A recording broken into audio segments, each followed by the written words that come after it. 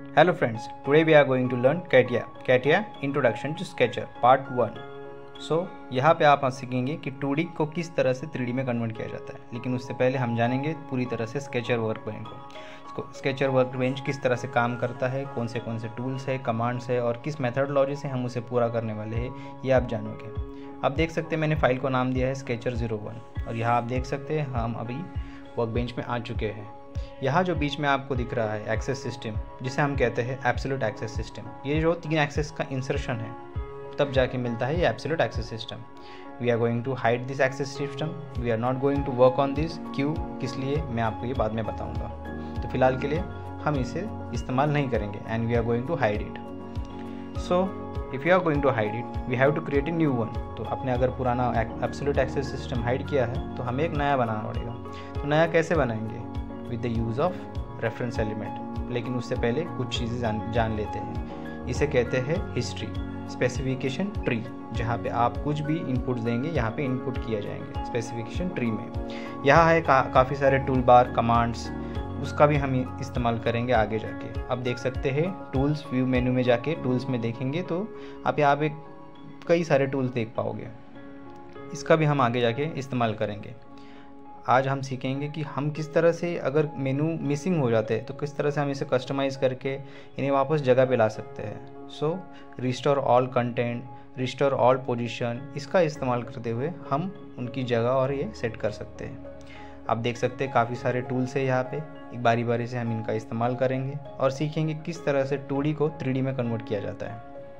तो हम कुछ प्रोफाइल्स होंगे टू में, उसका इस्तेमाल करेंगे। अब देखिए, यहाँ पे कस्टमाइज टूल बार आ गया है। इसमें देख सकते हैं कि हम वहाँ जाके restore all commands and restore all position ये करके हम इन्हें वापस बुला सकते हैं, अगर कोई मिसिंग टूल बार है तो। ठीक है, जैसे कि मैंने कहा कि आप यहाँ पे व्यू मेनू में टूल बार जाके किसी भी मिसिंग टूल बार को ला सकते हैं, जैसे कि ग्राफिक प्रॉपर्टीज़ ये हमें कलर प्रॉपर्टीज़ उसकी प्रोफ़ाइल चेंज करने में मदद करता है।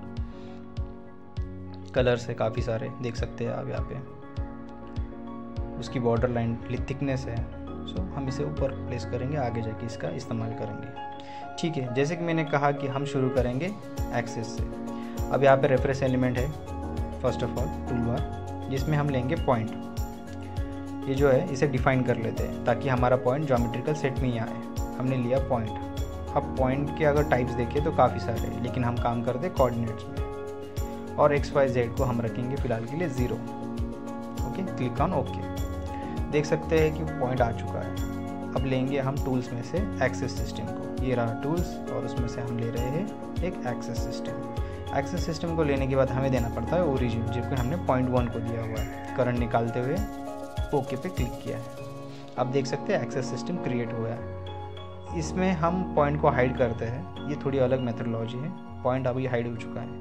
आप बॉडी में जाके एक बॉडी इंसर्ट कर लेंगे, ताकि स्केच जो है, वो सेपरेटली बाहर रहे ना कि मिक्स हो। हम इसे भी नाम देंगे बॉडी ज़ीरो वन ताकि वो ठीक ठाक हमें हिस्ट्री में दिखे। अब रहा सवाल पोजीशन स्केच का। स्केच टूल बार आ गया पिक्चर में। देख सकते हैं आप। इसमें दो प्रकार के स्केच हैं। एक नॉर्मल स्केच और एक पोजीशन स्केच हम पोजीशन स्केच पे काम करेंगे। यही हमारी मेथडोलॉजी होगी। पोजीशन स्केच में हम देंगे प्लेन जिस प्लेन पे हमें काम करना है। हम देंगे पॉइंट जो कि हमारा प्रोजेक्शन पॉइंट होगा। ना कि वो पॉइंट देते हुए हम एक्सेस में से पॉइंट देंगे। ये पॉइंट का इस्तेमाल बिल्कुल भी नहीं करना है। हम देंगे एक्सेस में से, ताकि डिपेंडेंसी एक्सेस पे बनी रहे। Then we are going to change its orientation parallel to line horizontal और वर्टिकल लाइन को चेक करते हुए क्लिक ऑन ओके आप देख सकते हैं कि हम अभी sketcher work board work bench पे आ चुके हैं। इसी में हमें टू प्रोफ़ाइल बनानी होती है। देख सकते हैं कि मैंने सारे स्केचर के जो टूल बार है, सामने आपके ला के रखे हुए हैं। हम इन सारों का इस्तेमाल करेंगे और स्केचर किस तरह से बनाया जाता है, आपको दिखाएँगे। तो पहले तो आता है स्केच टूल्स जहाँ पे ग्रीड और स्नैप टू पॉइंट का इस्तेमाल किया जाता है। लेकिन हमारे इस कैड मेथडोलॉजी में हम इन दोनों का इस्तेमाल नहीं करेंगे। क्यों? तो उनके कुछ डिसएडवांटेजेस है। इन्हें यूज़ करने का एक रीज़न है कि ये अगर प्रोफ़ाइल हम क्रिएट करते हैं, जो कि मैं आपको दिखाने वाला हूँ, देखिए, इस तरह से अगर ये एक्टिवेट कर रखा हूँ और ये प्रोफ़ाइल लेता हूँ तो ये जो प्रोफ़ाइल है पॉइंट टू पॉइंट ही एक्ट कर रही है। जबकि हमें वेवीनेस की कर्व अगर रिक्वायर्ड है तो वो आ नहीं पा रही है। हमें ये पॉइंट टू पॉइंट ही वर्क करना पड़ रहा है, जो कि एक रिस्ट्रिक्टेड है। इस वजह से हम इसे बंद रखेंगे ऑफ़ करके रखेंगे। अब मैं इसे डिलीट करता हूँ।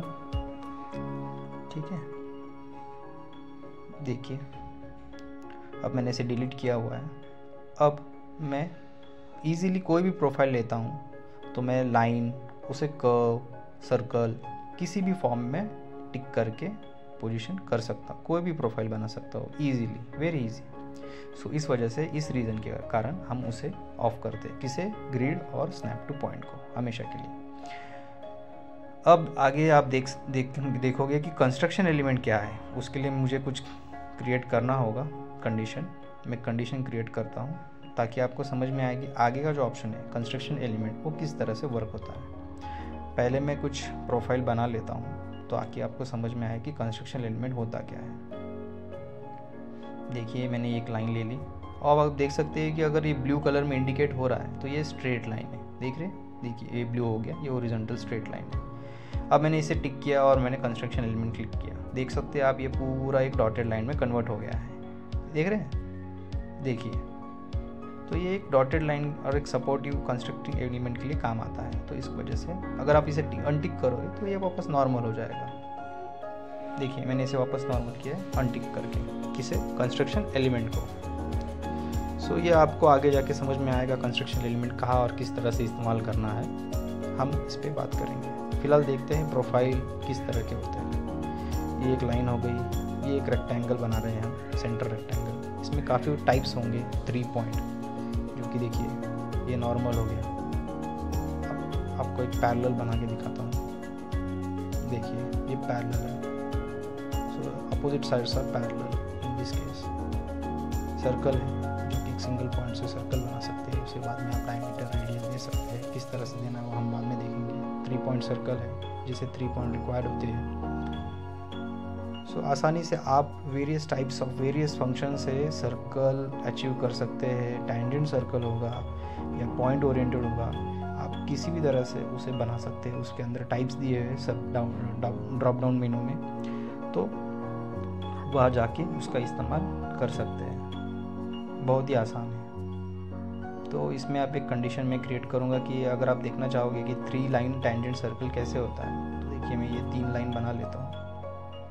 जिसमें ये तीन लाइन मैंने रैंडमली बना लिए और उस प्रकार से मैं सर्कल पे जाके टेंजेंट सर्कल पे टिक करता हूँ। ये तीनों इनपुट्स आप देख सकते हैं मुझे एक रेडीमेड थ्री सर्कल मिला है, जो कि वो टेंजेंट है। बाद में आता है कर्व स्प्लाइन ले सकते हैं आप। देखिए, ये स्प्लाइन है कि आप जिस तरह से मोड़ना चाहते हो, इसका इस्तेमाल कम होता है। ये रहा आपका इलिप्स इसमें आपको दो डायमेंशन देने होते हैं, एक लंबाई और इसकी हाइट देखिए तो इस तरह से आप कई ऑप्शन इस्तेमाल कर सकते हो और ये रहा लाइन प्रॉपर लाइन प्रोफ़ाइल और लाइन में फ़र्क ही है कि इसमें खाली लाइन मिलेगी और प्रोफ़ाइल में आप स्क्वायर सर्कल जो चाहे बना सकते हैं कंटिन्यूसली ये रहा आपका एक्सेस ये एक्सेस हम इस्तेमाल करेंगे whenever we want symmetry object mirror object उस टाइम हम इस चीज़ों का यूज़ करेंगे। ये रहा नॉर्मल पॉइंट्स पॉइंट है, जहाँ आपको मन लगे, आप रिक्वायरमेंट है या फिर कुछ